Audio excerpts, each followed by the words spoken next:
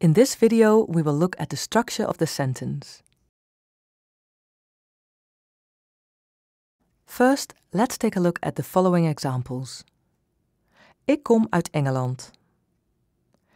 Ik woon nu in Nederland. Mijn ouders zijn op dit moment in Indonesië. Meaning, I am from England. Now I live in the Netherlands. My parents are in Indonesia at the moment. Please note that the conjugated part of the verb is in the second position. This is a general rule. The conjugated part of the verb stands in second position.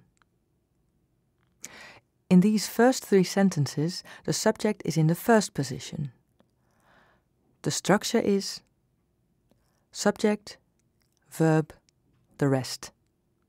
The conjugated part of the verb is called persoonsvorm in Dutch. Let us now take a look at the yes-no questions, ja-nee vragen in Dutch. Woon je al lang in Utrecht? Is deze plaats vrij? Krijg je nog bezoek? Zijn je ouders op vakantie? Meaning, have you lived in Utrecht for a long time? Is this seat free? Will you get visitors? Are your parents on holiday?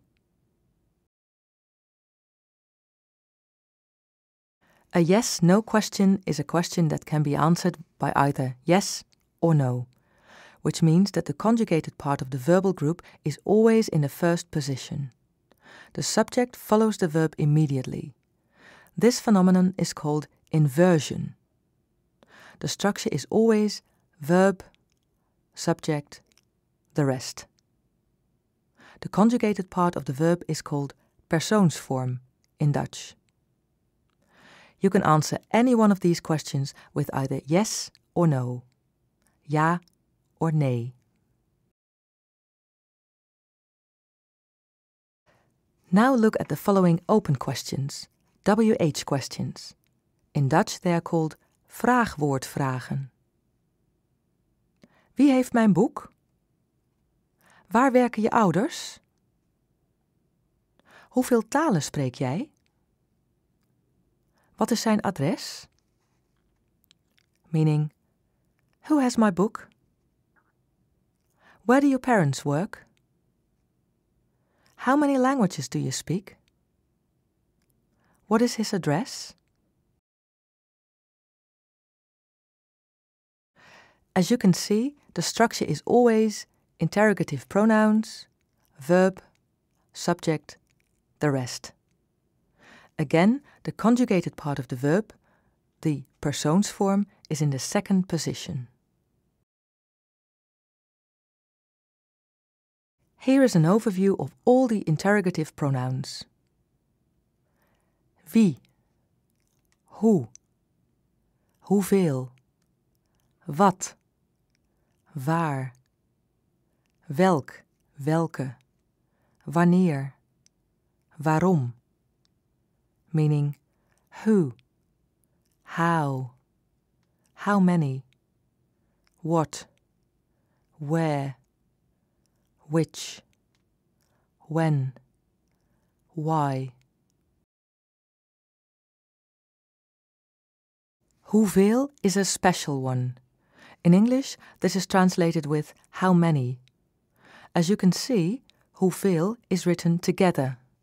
However, when the interrogative pronoun how, hoe, is followed by another adjective, you write it separately.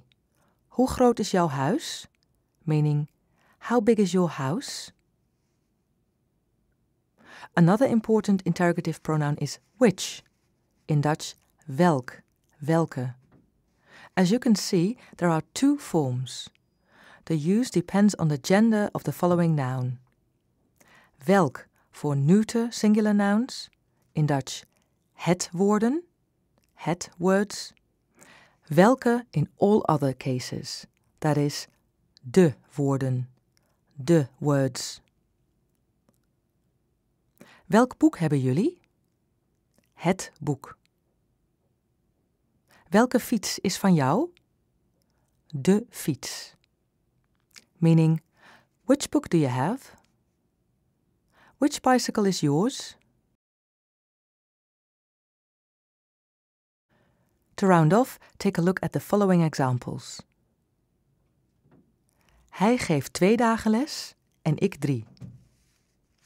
We luisteren naar de tekst. Komt je broer ook op bezoek?